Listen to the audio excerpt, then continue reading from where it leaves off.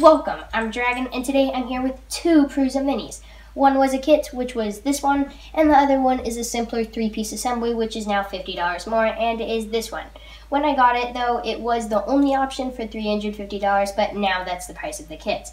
Since I got the first one, they have also updated the PINDA sensor to, from this yellow one to this black one. Personally, I haven't noticed too much of a difference because supposedly the newer black one is supposed to have better first layers, but maybe time will tell me that it actually does matter.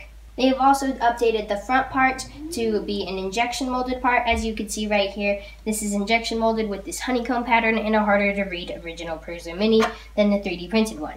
So here's the 3D printed one, and it looks very similar other than it's 3D printed and has an easier to read original Prusa Mini. Personally, I don't care too much about this change because if you really want to, then you could 3D print this front part and put it on the new injection molded one and just replace it.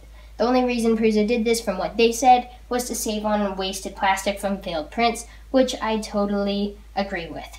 But now, which one should you go with, and how long does each one take to assemble? Let's get into it and answer that right now up front. At the moment, I would recommend getting the kit if this is your first printer or if you want to know the Prusa Mini better. Otherwise, if you have experience with 3D printing and don't really like building things, then I would recommend this mostly assembled one. But now, if you want to see the reason for that answer, let's dive deeper into explaining. So here is the mostly assembled one laid out out of the package. As you can see, there still are parts to put together and took me around three-ish hours, but that was also my first printer, so it probably would take me less time now. Now there's the kit. As you can see, when I open the package, almost everything is in separate boxes, and really the only thing that was assembled for me was the hot end.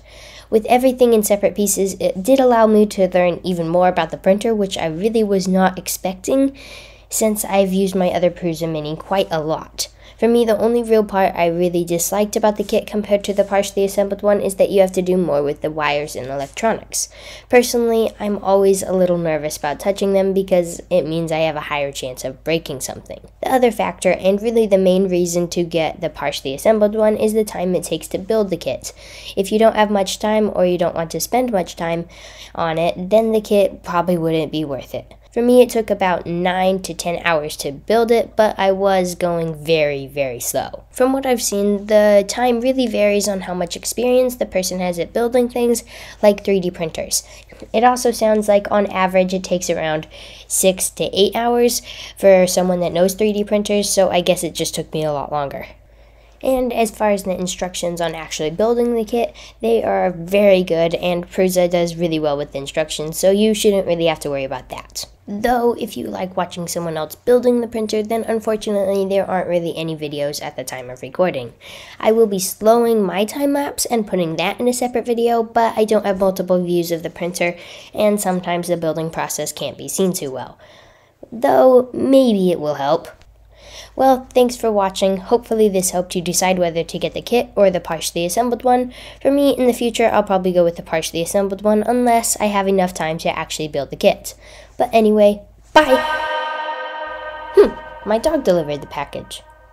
Or maybe she just wants to eat it.